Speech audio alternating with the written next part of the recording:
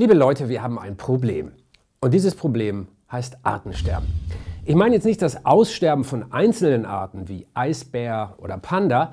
Das ist zwar sehr traurig, keine Frage, aber das ist für uns Menschen zumindest kein existenzielles Problem. Ein wirklich großes Problem hingegen für uns, das ist das massenhafte, das gleichzeitige Aussterben von tausenden Arten.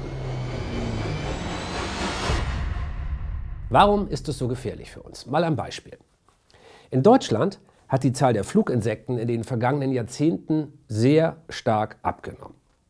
Einer großen Studie zufolge sogar um 75 Prozent. Also drei Viertel dieser Tiere sind dieser Studie zufolge in den letzten Jahrzehnten verschwunden. Und weltweit sieht es wahrscheinlich nicht viel anders aus. Und das ist schlecht, das ist sogar sehr schlecht. Denn wir brauchen die Insekten, weil ohne sie unsere Landwirtschaft, zumindest so wie wir sie bisher betreiben, überhaupt gar nicht mehr möglich wäre. Anders gesagt, ohne Insekten haben auch wir Menschen irgendwann nicht mehr genug zu essen.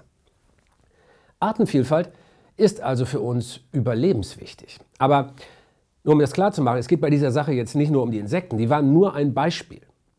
Die natürliche Aussterberate, die alle Tier- und Pflanzenarten auf der Erde umfasst, die ist inzwischen schätzungsweise um das 1000-fache erhöht.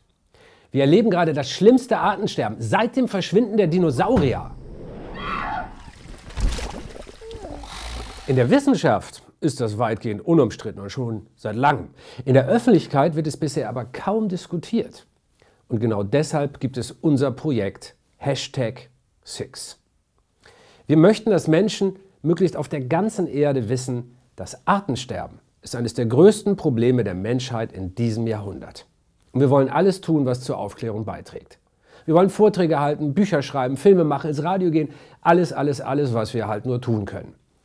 Aber alleine aufhalten können wir das Artensterben natürlich nicht. Dafür brauchen wir euch.